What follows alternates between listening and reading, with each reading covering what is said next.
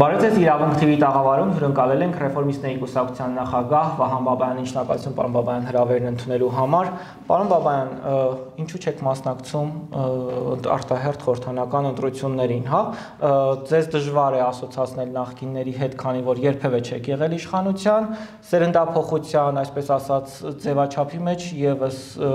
աղերս չկա, քանի որ բավական երիտասարդ եք։ Ինչը խանգարեց մասնակցել այս ընտրություններին։ Շնորհակալություն հրավերի համար։ Նախ ասեմ, որ շատ են այդ հարցը տալիս եւ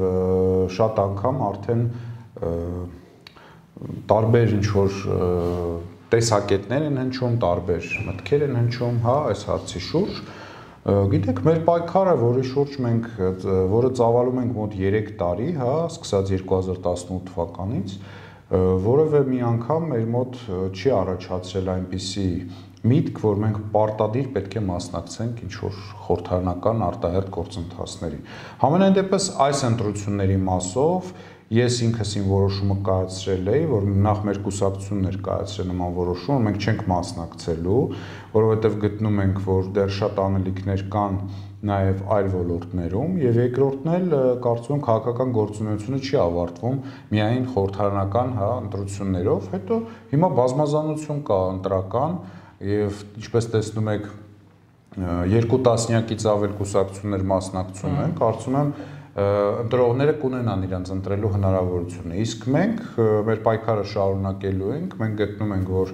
դեռ շատ անելիքներ կան եւ նիկոլիզմի դեմ պայքարը դեռ երկար է տևելու անկախ արդյունքներից ընտրությունների։ Հա, ոնց որ հատուկ ինչ որ բաներ փնտրել պետք չի, որովհետեւ բանից չի խանգարել, ընդհակառակը բարենպաստ պայմաններ են հիմա մասնակցելու համար, բայց սա իմ որոշումն է, ես գտնում եմ, որ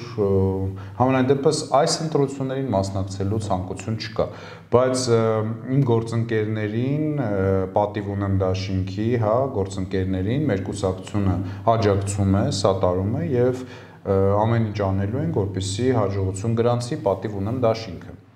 Մնացած հարցերով կարծում եմ ժամանակը ցույց կտա արդեն։ Պարոն Բաբայան, պատերազմից առաջ ձեր կուսակցությունը միակն էր, հա, որ փողոց էր դուրս գալիս այս իշխանության դեմ։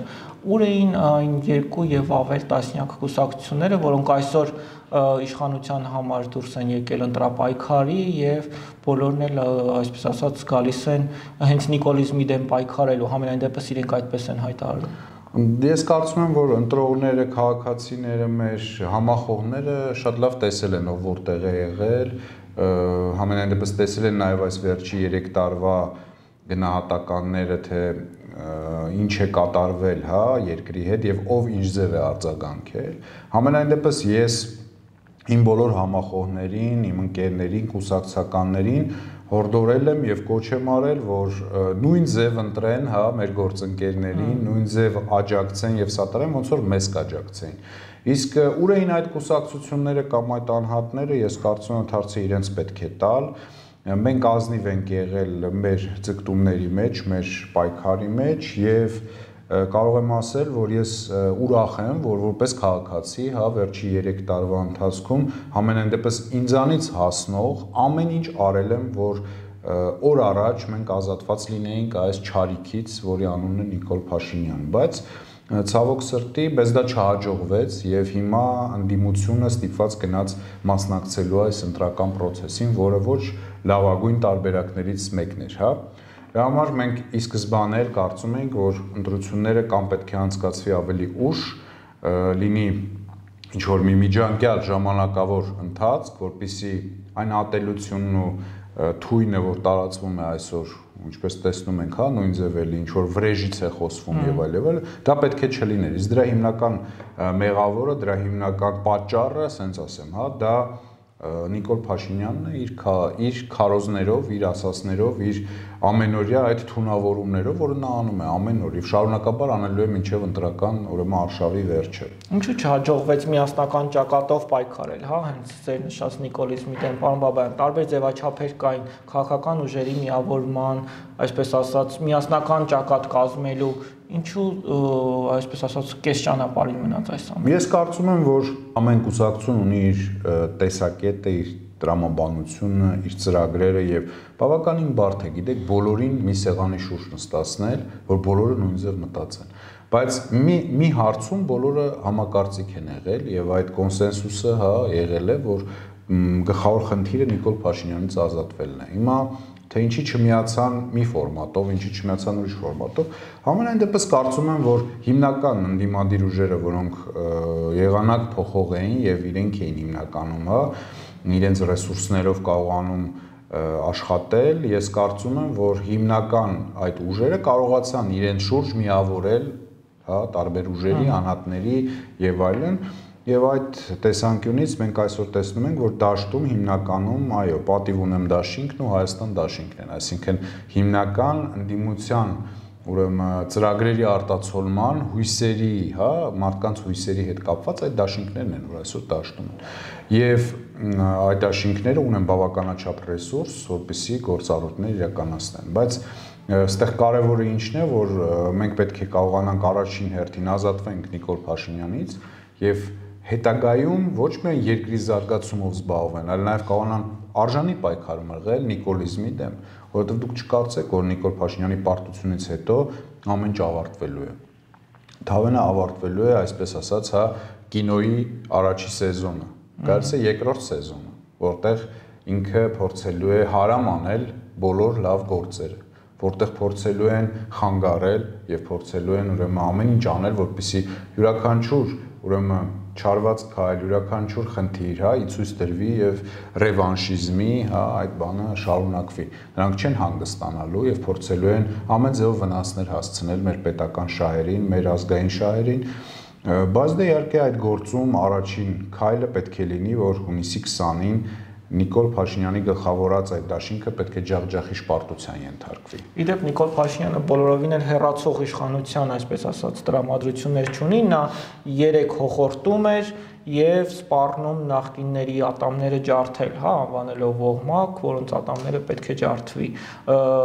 Այս տրամադրությունները ինչպես կմեկնաբանենք 3 հա? տարի մենք լսում ենք նման արտահայտություններ 3 տարի նա փորձում է նման բաներով ուրեմն սպառնալիքներով եւ նման ոճի ցածրակարգ էժանագին հա կարելի ասել շիզոֆրենիայի մոտ հա ելույթներ ունենալ մարդկանց վրա տպավորություններ թողելու համար բայց դա արդեն ծիծաղ է առաջացնում որովհետեւ որևէ լուրջ մարդ այլևս լուրջ չի ընդունում նման մարդու որը ուրեմն կապիտուլյանտ է եւ Հայաստանի Հանրապետությունը եւ Արցախը ուրեմն կործանման եզրին է կանգնացրել, այդքան մարդու ճակատագրի հետ է խաղացել, մեր տարածքները հանձնել Թուրքին եւ այսօր ինքը ինչ որ բարոյական իրավունք չունի ընդհանրապես խոսելու, Ուղղակի դրա վերջնական գնահատական եւ արդյունքը կտա, ես կարծում եմ, մեր քաղաքացին ընտրությունների օրը։ Նա այնքան քիչ ձայն կստանա, որ կհասկանա, որ նա այլևս անելիք չունի։ Պարոն Բաբայան, Նիկոլ Փաշինյանը նշեց, որ հենց այս պարտության համար ինքը հպարտանում է։ Գիտեք, ես չեմ, գիտեք, ես չեմ ցանկանում նույնիսկ մեկնաբանել իր անիմաստ եւ դատարկ խոսակցություն, ուրեմն խոսակցության առարկա դարձած այդ թեզերը, որովհետեւ առողջ հոգեկան առողջություն ունեցող մարդը չի կարող նման հայտարարություններ անել, հա, նախնդիրներ ունի երևի թե եւ նման հայտարարությունները ուղակի մեկնաբանել կամ խորանալ լուրջ ընդունել, ես կարծում եմ չարժի, որովհետեւ նա ամեն օր կարող է նման բաներ ասել եւ լրջություն չկա դրա մեջ։ Բայց այնուամենայնիվ նա մարտահրավեր է նետում նաև մյուս քաղաքական լիդերներին եւ հրավիրում բանավեճի, հա, մասնավորապես Լևոն Տեր-Պետրոսյան, Ռոբերտ Քոչարյան եւ ներմուծեց նոր քաղաքական տերմին տղամարդ լամիշ լինել, ես չգիտեմ դա։ Դե իրեն ես կարծում եմ թուրքերեն բարակապակցությունները մոտ են, քանի որ Կիրտ ընկերոջ հետ երևի թե այդ ուղիղ կապը լավ է գործում եւ այդ լամիշ լինելու իր ուրեմն խոսակցությունները, խոսակցական այդ տոնայնությունները եւ խոսքերը իր մոտ լավ է ստացվում երևի նա դա է նկատի ուներ դրամարկությունից խոսող մարդը չէր պահկվի բունկերներում հետո բունկերներից հոխորտար հիմա էլ ախրանաներով ու մեծ բաղակախմբերով շրջեր իր սեփական երկրում, որ կարողանար 2 մետր քայլ գցել 4 տեղ։ Նրա այդ խղճուկ հանդիպումները իրոք զավեշտալի են, որովհետև երկրի վարչապետը, որը իբր թե իշխող կուսակցության առաջնորդն է, հանդիպում է 20 հոկանոց ինչ որ փոքր շտաբերում Երևան քաղաքում հսկայական անվտանգության աշխատակիցների հետ եւ դա ուղղակի ինչ է դա ցույց է տալիս որ նա իրականում ունի ոչ վստահություն այլևս, ոչ էլ կարողանում են կազմակերպել իր բացօթյա հանդիպումները, որովհետև լավ հասկանում է, որ Սյունյաց ողջույնների է արժանանալու այդ հանդիպումներին։ Պարոն Բաբայան, դուք ել եք հանդիպում քաղաքացիների հետ, ինչ տրամադրություններ նախընտրական կան, հա, այս շրջանում? Մասնավորապես եղել եք տարբեր համայնքներում, զրուցել եք մարդկանց հետ։ Այո, ես հիմնականում, քանի որ աջակցում եմ պատիվ ունեմ Դաշինքին, Մալացիա Սեբաստիան-Շենկավիթ համայնքներում, բավականին հանդիպումներ եմ ունենում տարբեր անհատների, ընտրողների հետ, տպավորությունս հետեւյալն է. Նիկոլ Փաշինյանը ձայն չունի դա բնական է. Բայց մենք ունենք քաղաքացիների մի հոտ զանգված որոնք այնքան հիասթափված են որ ընտրության չեն ուզում գնալ եւ հետեւաբար նույնիսկ կարող եմ ասել որ այդ այն քաղաքացիներն էին որոնք կոպիտ ասած դոշ էին տալիս հա Նիկոլ Փաշինյանի համար 18 թվականին հրապարակներում այսօր այդ մարդիկ հիասթափվել են չեն ուզում ընդունել իրենց սխալը որ այդ մերժիր Սերժին շարժումը որին իրենք մասնակցեցին, դա Արցախի եւ Հայաստանի փլուզման ծրագիր էր, որ դա հակաղարաբաղյան շարժում էր, որ Սերժ Սարգսյանը մերժելով նրանք մերժեցին Կանգուն, Կայուն եւ անվտանգ Հայաստանն ու Արցախը, իրենք դա հասկացել են արդեն, բայց չեն կարողանում ընդունել եւ մարդկանց դա ասել։ Եվ դրա համար շատերը հիասթափված լինելով, հա, իրենց ընտրությունից, այսօր մտածում են ավելավե չերևան, չխոսեն, չմասնակցեն, այն որ ասում է իրենք սենց իրենց մտորումների տակ, բայց դա սխալ ճանապարհ է եւ ոչ միտեղ չտանող ճանապարհ։ Դրա համար կոչ եմ անում օգտվելով արդից, տվել մարդկանց, որ եթե իրենք գիտակցել են իրենց սխալը, անսխալական մարդիկ չկան։ Իհարկե այդ սխալի պատճառով մենք կորցրեցինք շատ մեծ բան, մենք կորցրեցինք Արցախը, մենք կորցրեցինք 5000-ից ավել կյանք, մենք կորցրեցինք 10000-ի խեղված ճակատագիր, մենք կորցրեցինք պետական, ուրեմն անվտանգության, չգիտեմ, արժանապատվության հիմնական, հա, ողնաշարը, բայց Էլի ուժ չէ, եթե կարող են իրենք պետք է իրենց մեջ ուժ գտնեն եւ իրոք մերժեն կապիտուլյանտին։ Գան եւ այդ քվյաթերտիկը գցեն, ընտրեն այն ուժին, որին հավատում են, հավանում են, բայց մերժեն Նիկոլ Փաշինյանին, որպեսզի այս երկիրը շունչ քաշի, որպեսզի մարդիկ գան, տեսնեն ինչ են կարող անել, հա, այս կարճ ժամանակահատվածում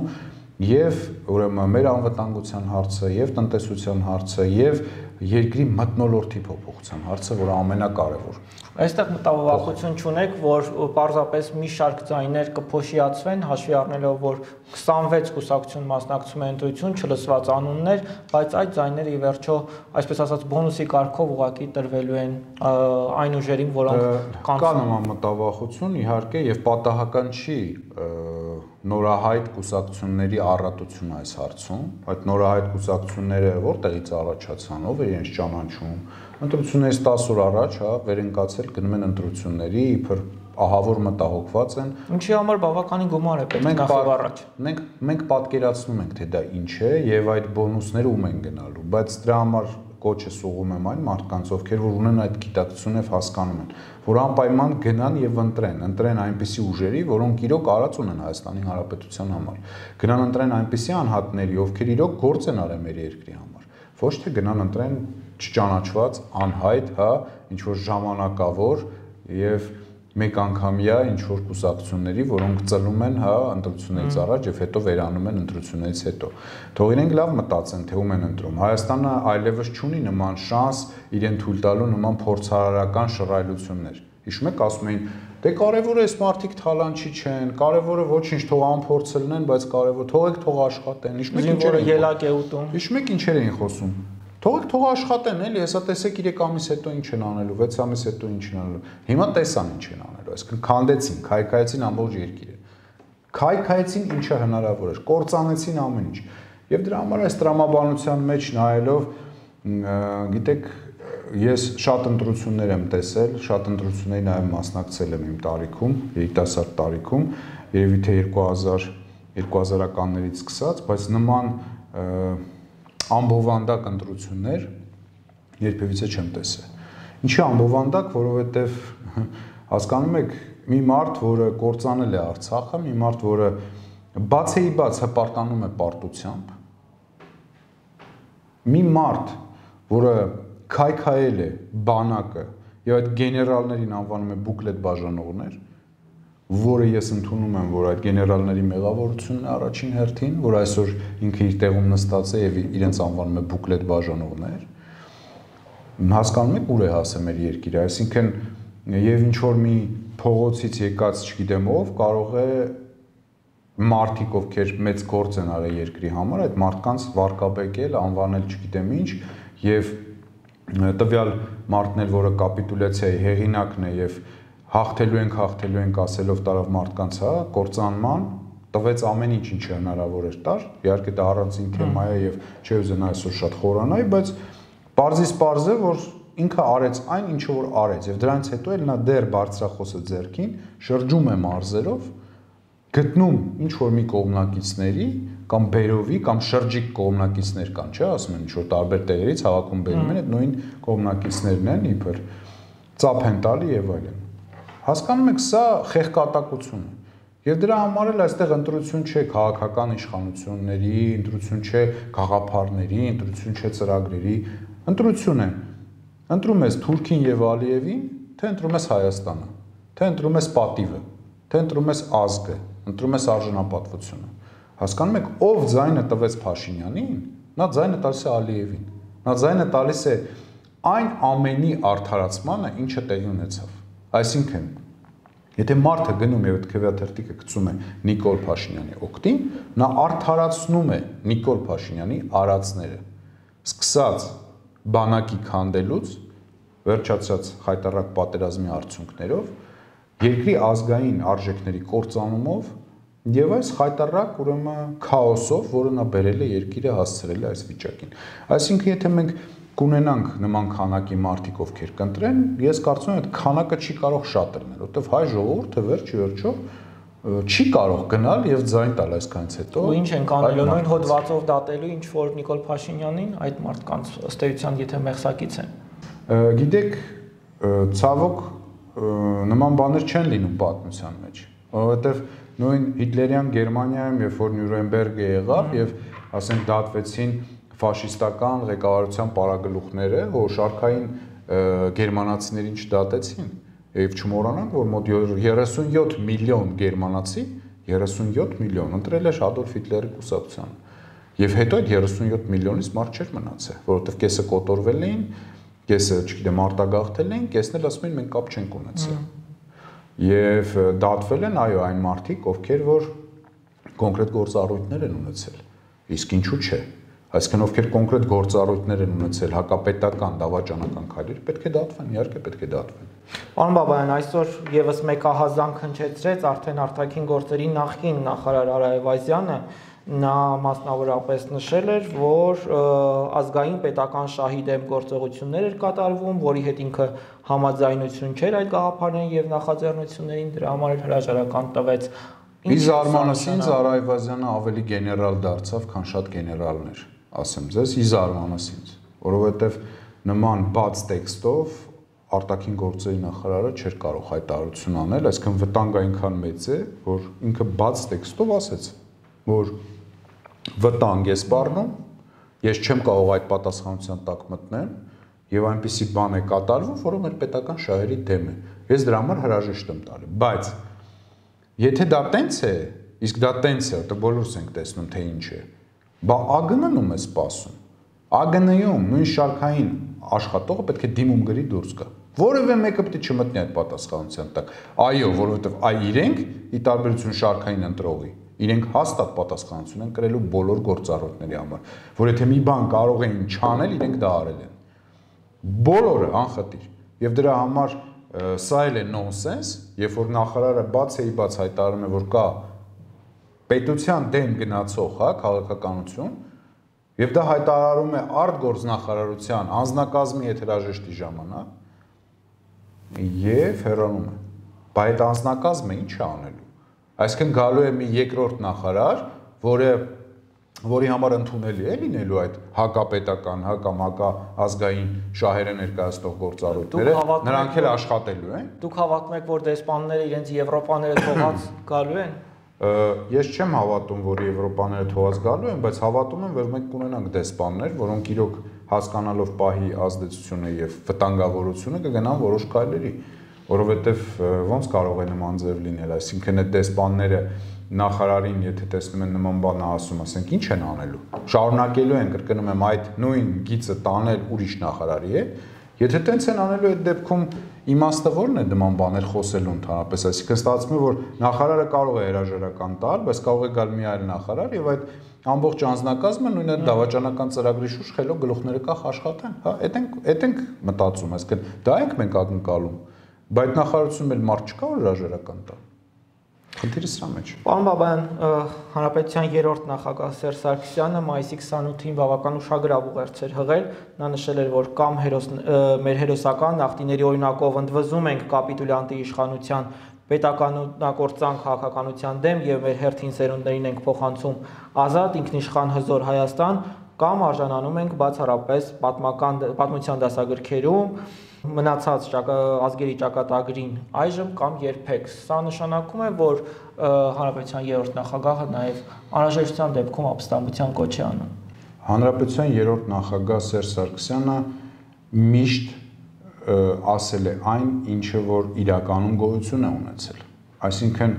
եթե հիշում եք, այն բառը, որ մենք բոլորս այսօր գործածում ենք, կապիտուլյանտ բառը, հեղինակը Սերժ Սարգսյանն էր այդ բառերի, երբ որ նա շատ լավ բնորոշեց եւ բացատրեց, թե ինչ է նշանակում կապիտուլյացիա եւ ինչ արեց Նիկոլ Փաշինյանը մեր երկրի հետ։ Եվ դրա համար Սերժ Սարգսյանի բոլոր ուղերձները կրում են բացառապես ազգային, պետական եւ ապագային միտված, ուրեմն կոչեր եւ ուղերձներ։ Այլ հարց է, թե մարդիկ դա ոնց են ընկալում, ոնց են հասկանում եւ ոնց են շարժվում։ Ես վստահ եմ, որ Սերժ Սարգսյանը այն մարդն է, որ հերանալով իշխանությունից նա առաջին հերթին թույլ չտվեց արունահեղություն։ Հերանալով իշխանությունից նա արտաբերեց հետեւյալ միտքը, Նա մաղթեց տրամաբանություն մեր երկրին։ Նա մաղթեց մեզ խաղաղություն։ Որտեվ Սերժ Սարգսյանը շատ իրացնում էր, որ այս շարժումը, որ այս խափեփաների, հա, մանիպուլյացիոն գործառույթները, որ արվում են իր դեմ, իբր թե այդ անձի շուրջ ձևավորելով, հա, պայքարը, որ մարդկանց հավատացրել էին, որ ամբողջ մեր երկրի խնդիրների պատճառը դա Սերժ Սարգսյանն է, Եվ ինքը այդ ուղերձները հղեց, հա, տրամաբանություն եւ խաղաղություն։ Իրականում մենք տեսանք, որ Սերժ Սարգսյանի հեռանալուց հետո, այո, այդ երկու բանը մենք չունեցանք։ Ոչ տրամաբանությունը ունեցանք, որ հասկանայինք, թե իրականում ինչ կատարվեց։ Ոչ էլ խաղաղությունը ունեցանք, որովհետեւ եղավ առելի աղետալի պատերազմ։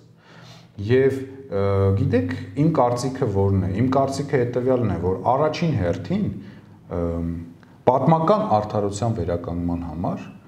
իշխանությունը պետք է հետ վերադարձվեր Սերժ Սարգսյանին։ Ինչի համար, որովհետև Սերժ Սարգսյանը չի հեռացել այն պատճառով, որ ինչ որ սկանդալ է տեղի ունեցել, վերցնենք հա եւ ինքը ինչ որ մի վատ բան է արել, այդ վատ բանի հետևանքով մարդիկ ընդվզել են եւ այլն։ Ընդհանուր առմամբ որևէ բաներ չէր տեղի ունեցել։ Մարդկանց ուղղակի այդ հակակարոշչության փորձեցին հա բերել ատելությունը գեներացնել եւ սուտ խոստումներ տալով, վարկաբեկելով, ստեր պատմելով Սերժ Սարգսյանի եւ իր ընտանիքի մասին, տարբեր բաներ անելով, իրենք փորձեցին մարդկանց ոտի հանել եւ փորձեցին հա այդ շարժման միջոցով հեռացնել Սերժ Սարգսյանին։ Սերժ Սարգսյանը կամավոր հեռացավ թույլ չտալով այդ ամենը։ Բայց Սերժ Սարգսյանի հեռացումից հետո այդ մարդիկ, որոնք պայքարում էին դրա համար,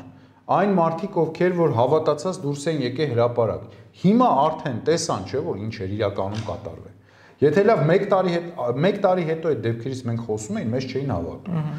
Ասում էին դե դուք Սերժի մարդն եք, Ռոբերտի մարդն եք, չգիտեմ ում մարդն եք, սես բաներ էին խոսում։ Հիմա այսօր ես նորից նույն բանը ասում եմ։ Մենք հիմա տեսանք, չէ, հասկացաք, չէ, դուք արդեն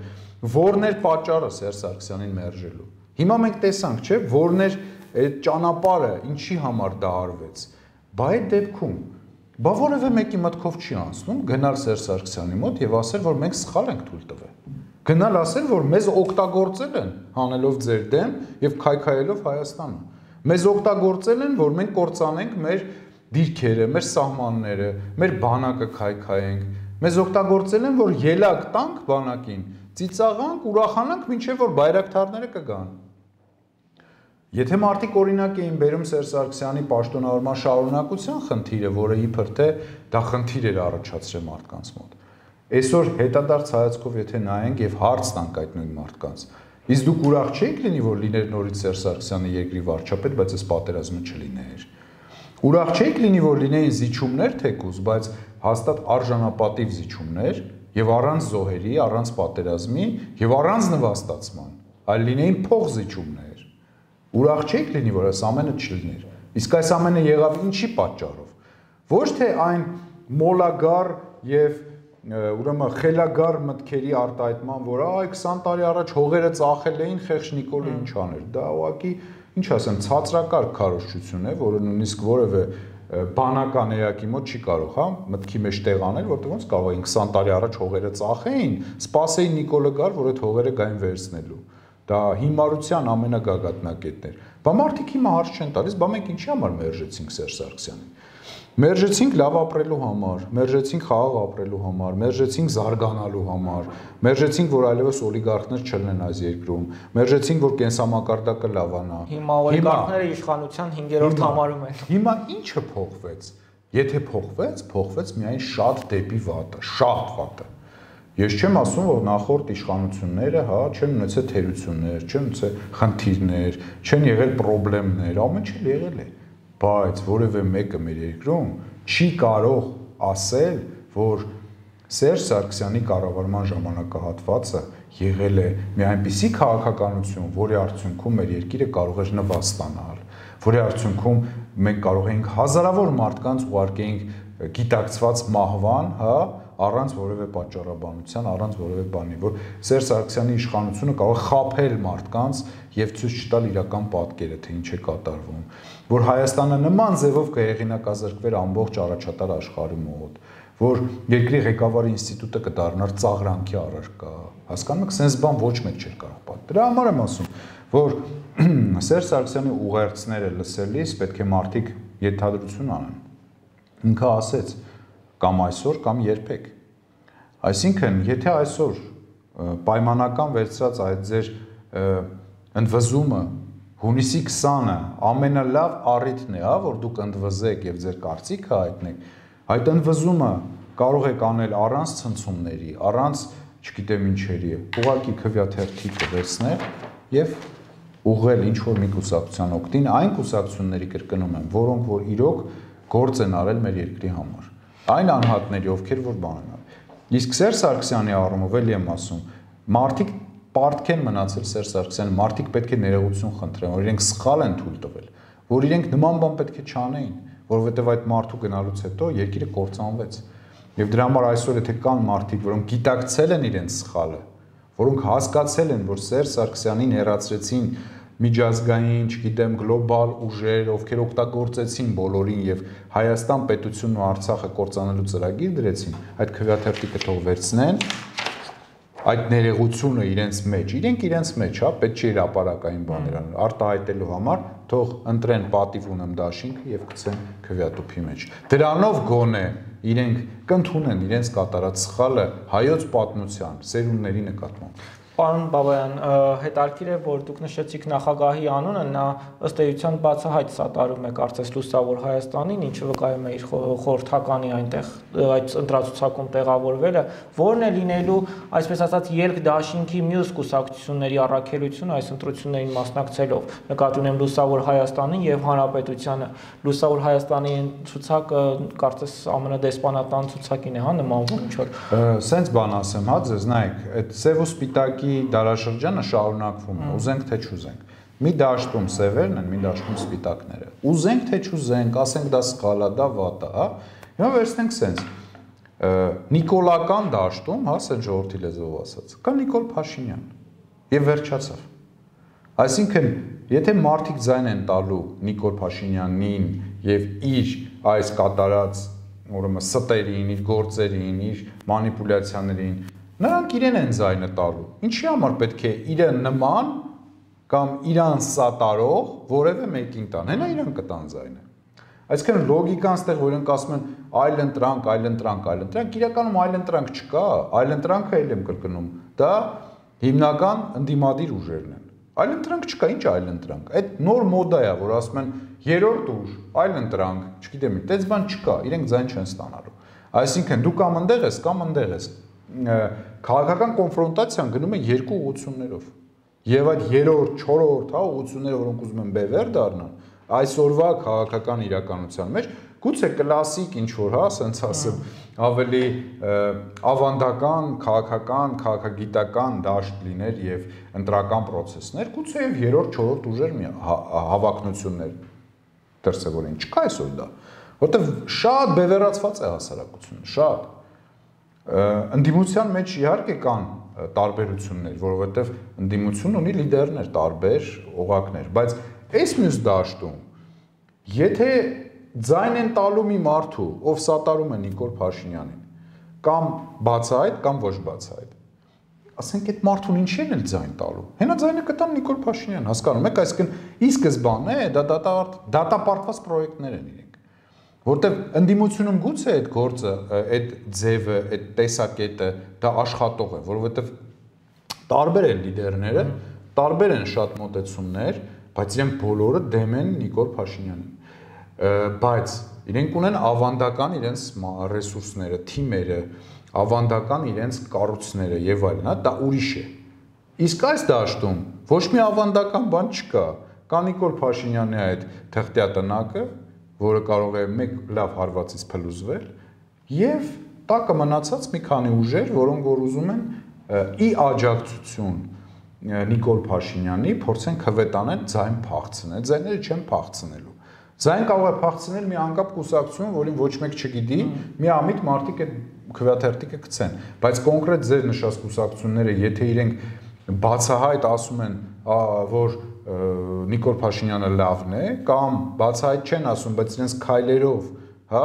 ընդդիմության դաշտ չեն մտնում, իրենք ոնց են ձայն ստանալու։ Դա է ամբողջ հետաքրքրությունը եւ նոնսենսը, որ իրենք ուղակի ձայն չեն ստանալու։ Պարոն Բաբայան, երբ դուք եք խոսում այս խնդիրների մասին, դեռևս պատերազմից առաջ չկային, հա, մյուս ուժերը չէին խոսում, լռում էին։ Հիմա բոլորը խոսում են, աղմկում են, դուք փաստորեն ընտրություններին չեք մասնակցում։ Ռեֆորմիստների կուսակցությունը ինչ հետագա ծրագրեր ունի եւ արդյոք սпасելու եք հերթական անգամ, երբ այսպես ասած տոտալ լռություն տիրի եւ այդ ժամանակ ռեֆորմիստները կրկին ես ձայնը բարձրացնեն։ Մենք մեր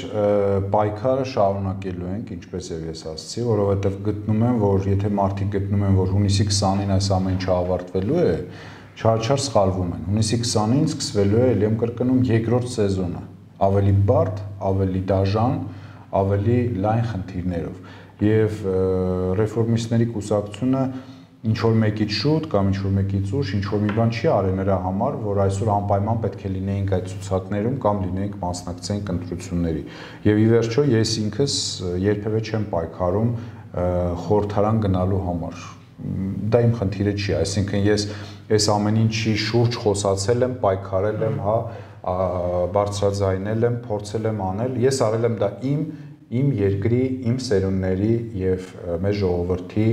վաղվա օրվա համար։ Ես դա չեմ արել ինչ որ մանդատի համար կամ ընտրացուցակում լավ տեղ գրավելու կամ ինչ որ Երևալու համար։